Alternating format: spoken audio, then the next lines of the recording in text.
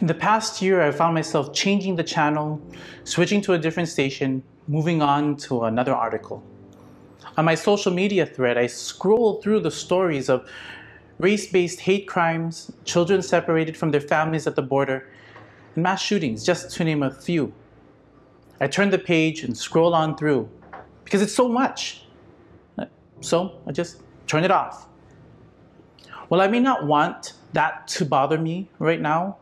It doesn't remove the reality that it is all around me. Just because I change the channel doesn't make the coronavirus disappear. Turning to a different radio station doesn't remove the frustration of a broken justice system, unwilling to fix itself.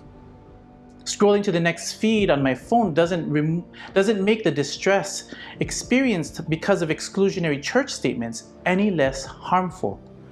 When I choose to put the newspaper down, racism doesn't just suddenly disappear and go away. Perhaps it's because I'm tired, tired of being bombarded by the news that upsets me, that this is the state of our country, the country in which I was born, where I live and I call home.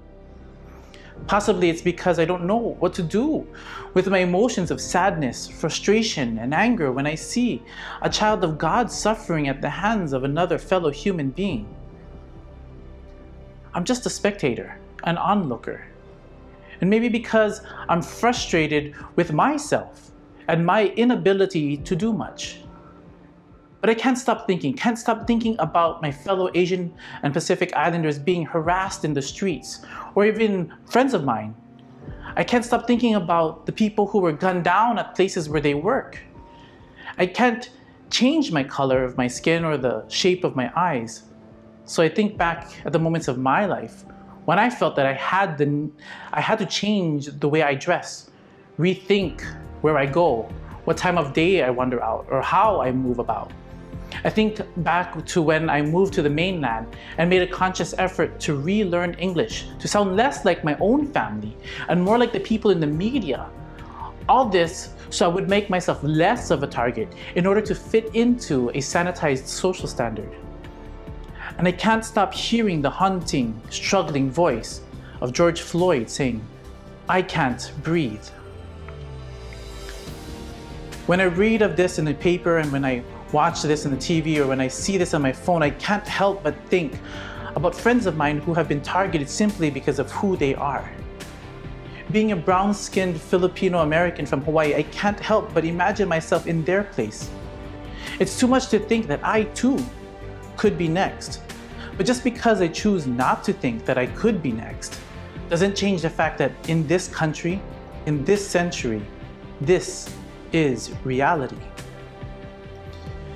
In the beginning of Jesus' public ministry, he went up to the mountain to preach.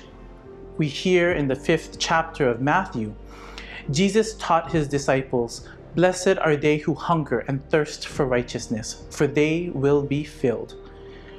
Jesus introduced a way of living in the kingdom of God. And at the end of his life, Jesus on the cross said, I thirst.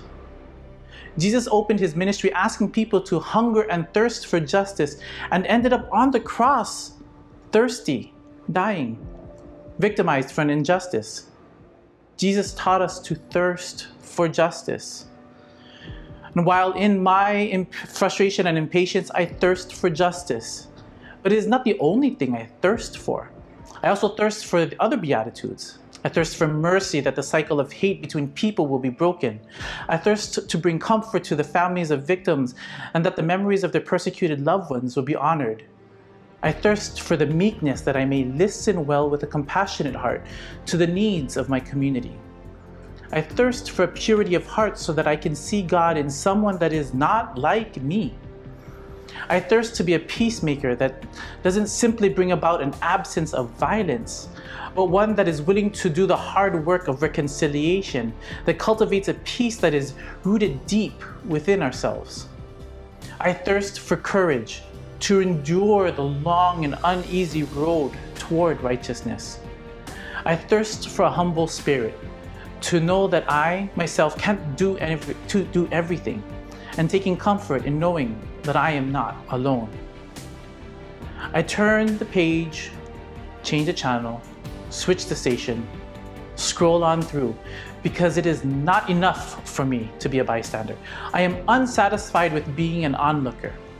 My thirst calls me to stop being an observer while the kingdom is being built.